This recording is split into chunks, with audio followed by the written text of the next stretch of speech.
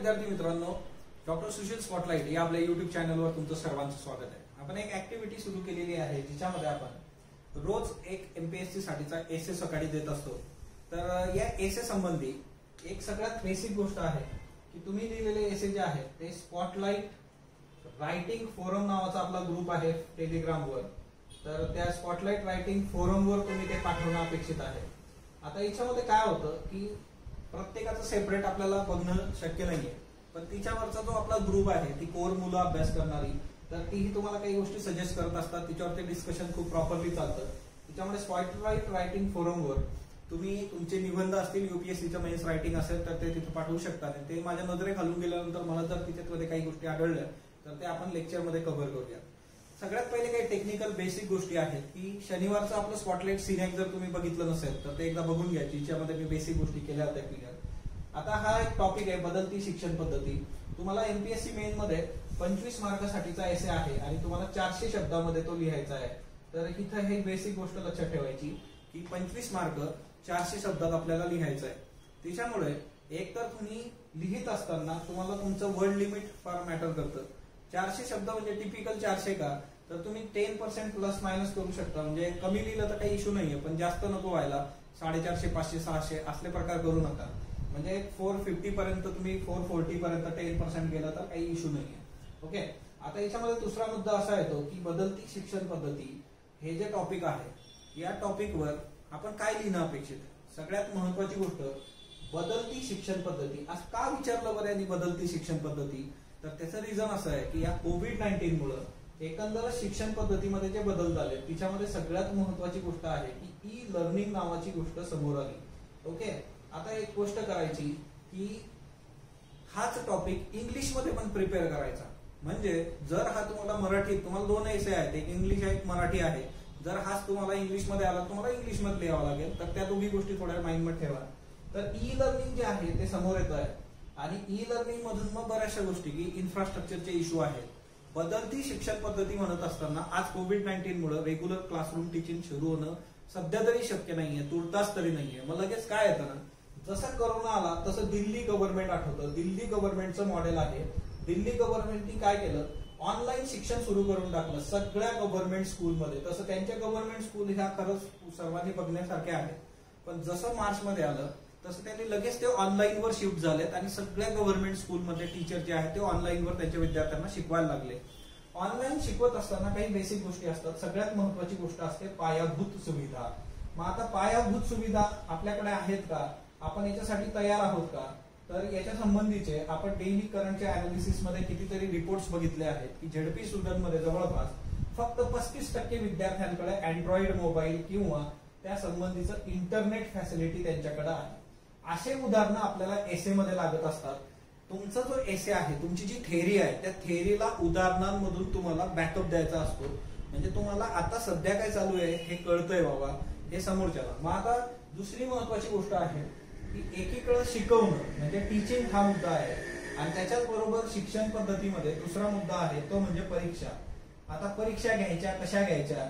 मग याच्यासाठी दिल्ली विद्यापीठाने एक कन्सेप्ट समोर आणली ती म्हणजे काय? तर दिल्ली विद्यापीठ म्हटलं की आपण ओपन बुक एक्झाम घेतोय.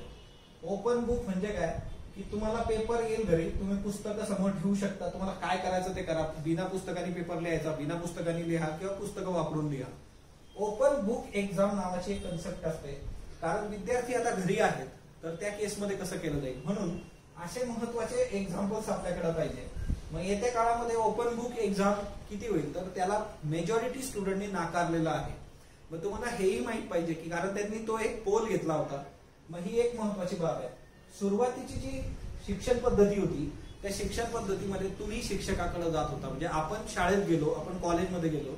आता शिक्षक आपल्यापर्यंत येणार आहेत थ्रू इंटरनेट तर हा एक खूप महत्त्वाचा मुद्दा आहे. म्हणजे तो विद्यार्थी घरीच आहे आणि त्याच्यापर्यंत शिक्षक येत आहे तर आता कुठलीही म्हणजे ई लर्निंगचा जर विचार केला तर कुठल्याही याचे पॉझिटिव्ह आणि निगेटिव्ह असतात ते तुम्हाला लिहिणं अपेक्षित आहे. एक आता सगळ्यात महत्वाची पॉझिटिव्ह गोष्ट काय? की तुमच्या शिक्षणामध्ये खंड पडत नाही. म्हणजे कंटिन्यू प्रोसेस जी आहे कंटिन्युटी आहे खंड न पडता. ओके शिक्षण चालू राहील. तिच्यात कसलाही खंड पडणार नाही. आणि दुसरी महत्वाची गोष्ट जी आहे की विद्यार्थ्याला आता परत बाहेर जायचं मग आता पावसाळा आहे पाऊस आणि त्या सगळ्या गोष्टी तर या सगळ्या याच्यामध्ये तो घरी राहून अभ्यास करू शकतो. ह्या बेसिक गोष्टी. किंवा बऱ्याचदा तुम्ही बघितलं असेल की रिक्षांमधून विद्यार्थी जात असतात. त्या रिक्षामध्ये रिक्षेत बसायला चार पाच लोकांची जागा आठ आठ दहा विद्यार्थी तिच्यामध्ये जात आहेत. तिच्यामधून ऍक्सिडेंट होत असतात. तर ह्या सगळ्या गोष्टी. किंवा एज्युकेशन सिस्टीममध्ये नव्याने काही गोष्टी आलेल्या आहेत की लहान मुलींचं मुलांचं शोषण होतं लैंगिक. ते बस जे चालक आहेत ड्रायव्हर कंडक्टर त्यांच्याकडूनच होत आहे त्यांचे केअरटेकर आहेत त्यांच्याकडून होत आहे तर तुमचं बाळ आहे तुमचे मुलगा मुलगी ते काय जे आहे ते घरीच राहणार आहे. तर हा लहान मुलांच्या बाबतीत प्राथमिकच्या याच्यामध्ये. नंतरच्या काळात सुद्धा एक गोष्ट आहे की बऱ्याचदा असं होतं की बरेचसे विद्यार्थी त्यांना घरकामामुळं शाळा करता येत नाही किंवा त्याची शाळा सुटते. मुलींच्या बाबतीत हे मोठ्या प्रमाणावर आहे. जर तुम्ही ई लर्निंगचं मॉडेल घेतलं तर ती मुलगी असेल किंवा तो मुलगा आहे की ज्यांना घरकामामुळे ते शक्य नाही किंवा जबाबदाऱ्यांमुळे शक्य नाहीये ते त्यांच्या सोयीच्या वेळामध्ये ते लेक्चर बघू शकतात. म्हणजे तुम्ही बघा ई लर्निंग प्लॅटफॉर्म जेवढे आहेत त्यांच्या टीव्हीवरचे ऍडव्हर्टाइजमेंट बघा की ते कारमध्ये बघतायत कुठेही बघतायत म्हणजे कुठं जंगलात जाऊन बघितलं त्यांनी. बेसिक आहे इंटरनेट पाहिजे किंवा ते लेक्चर ते डाउनलोड करून मग त्यांच्या पोर्टलवर पण बघू शकतात. म्हणजे ही एक कंटिन्युअस प्रोसेस आहे हिच्यामध्ये खंड पडत नाही. फक्त फेस टू फेस हिच्यामध्ये नसतं.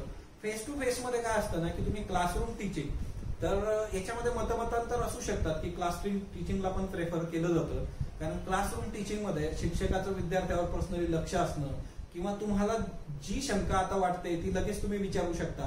अशा बऱ्याचशा गोष्टी आहेत. याचा अर्थ काय की ई लर्निंगचे काही तोटे आहेत काही फायदे आहेत. तसंच सेम क्लासरूमचे काही फायदे आहेत काही तोटे आहेत.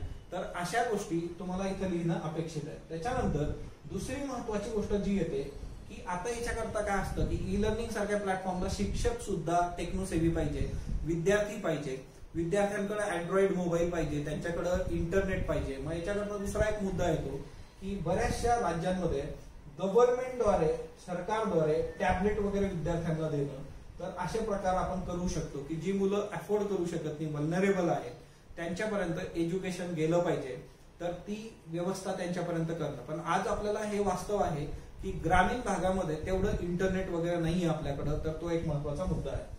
दुसरी एक महत्वाची गोष्ट आहे की एकंदर काय होतं की ज्यावेळेस शिक्षण पद्धतीचा विचार येतो तर त्यावेळेस आपण एका बॉक्समध्ये विचार करत असतो की तेच दहावी बारावी तेच पाठ्यपुस्तकं एनसीआरटी असतील स्टेट बोर्ड असतील याच्या पलीकडेही काही मॉडेल्स आहेत. फॉर एक्झाम्पल तुम्ही जर सर्च केलं तर स्कूल विथाऊट वॉल तुम्हाला सापडेल. स्कूल विथाऊट वॉल नावाचा कन्सेप्ट आहे. हे स्कूल विथाऊट वॉल काय प्रकरण आहे? स्कूल विथाऊट वॉल म्हणजे काय? की जिथं शिक्षकही नाहीत विद्यार्थी विद्यार्थ्यांना शिकवतात हा एक खूप महत्त्वाचा प्रोजेक्ट आहे भारतातला एनजीओ द्वारे. School without wall school without teacher तो तुम्ही बघू शकता. ना प्रॅक्टिकल एज्युकेशन आणि त्या सगळ्या गोष्टी. तर बदलती शिक्षण पद्धतीमध्ये तुम्हाला असे पण काही मॉडेल्स अभ्यासणं गरजेचं आहे. गव्हर्नमेंटच्या कुठल्या योजना याच्यासाठी आहेत का? तर त्याही तुम्ही बघितल्या पाहिजे. म्हणजे सर्व शिक्षा अभियान असेल राईट टू एज्युकेशन असेल तर शासकीय योजना त्याची खरंच अंमलबजावणी होते का? मग या बदलत्या शिक्षण पद्धतीला अनुकूल असणाऱ्या योजना आपल्याकडे आहेत का? जर आपल्याला आता ई लर्निंग वर शिफ्ट व्हावं लागलं तर त्या केसमध्ये आपल्याला काही बेसिक गोष्टी जसं इंटरनेट असेल त्याच्यासाठीचं गॅझेट असेल या गोष्टी देणारी योजना आपल्याकडे असणं आता गरजेचं होतं. दुसरा महत्त्वाचा मुद्दा याच्यामध्ये आहे की सिलेबस अभ्यासक्रम. आता बदलत्या याच्यामध्ये अभ्यासक्रमाचाही विचार करणं गरजेचं आहे. जसं सीबीएसई आहे बघा तुमचं. सीबीएसईने काय केलं? शाळेचे दिवस कमी होत आहेत म्हटल्यानंतर लगेच ते म्हटलं की आम्ही सिलेबस शॉर्ट करून टाकतो. तर हा खूप प्रॅक्टिकल विचार त्यांनी केला. असं स्टेट बोर्ड करतोय का विचार? म्हणजे शिक्षण पद्धती ही फ्लेक्झिबल असली पाहिजे. ती विद्यार्थ्याला अनुकूल असली पाहिजे. विद्यार्थ्याचा सकारात्मक दृष्टिकोन निर्माण करणारी असली पाहिजे. हा? म्हणजे एपीजे अब्दुल कलामांनी म्हटलं होतं की teacher should create hunger for thrust for knowledge among the student म्हणजे आणि रॅदर दॅन क्वेंच देम तर ज्ञानाची भूक विद्यार्थ्यांमध्ये शिक्षकांनी निर्माण करणं गरजेचं आहे. हे एपीजे अब्दुल कलामांना वाटत होतं ते आता आपल्या याच्यात आहे का? तशी व्यवस्था आहे का? मग त्याचं क्रिटिसाइज तुमच्या याच्यात येणं गरजेचं आहे. मग हे सगळे जे काही मुद्दे आहेत याला तुम्ही एक्झाम्पल्स देणं गरजेचं आहे. वेगवेगळे जे काही केस स्टडीज येत असतात शिक्षणासंबंधीच्या त्या तुम्ही मांडणं गरजेचं आहे. दप्तराचं ओझ नावाचा प्रकार आहे की खूप जास्त पुस्तकं. अशा ज्या गोष्टी आहेत की प्रॅक्टिकल अप्रोच वाढवणं थेरॉटिकलला प्रॅक्टिकल पॅरलली केला पाहिजे. तर ह्या बदलत्या शिक्षण पद्धतीमध्ये ते अपेक्षित आहे. येणारं आपलं जे नवं शैक्षणिक धोरण आहे त्याच्याबद्दलचं कस्तुरी रंगन रिपोर्ट आणि त्या सगळ्या गोष्टी त्याच्याबद्दल तुम्हाला काय वाटतं? तर या सगळ्या गोष्टी तिच्यात आल्या पाहिजेत आणि सगळ्यात महत्वाचं हे शब्द सगळं सगळं जे आहे ते एमपीएससी करता चारशे शब्दामध्ये बसलं पाहिजे. युपीएससी एस जो असतो तो मोठा असतो एकशे पंचवीस मार्काचा आहे हजार बाराशे शब्द तिच्यामध्ये येतात. तर तिथं तुम्हाला एक्सप्लेन करायला खूप स्कोप मिळतो. जास्तीत जास्त गोष्टी तुम्ही तिच्यात आणू शकता. तर अशा पद्धतीने हा जो एक एसे आहे महत्त्वाचा तो आपण बघितला आहे.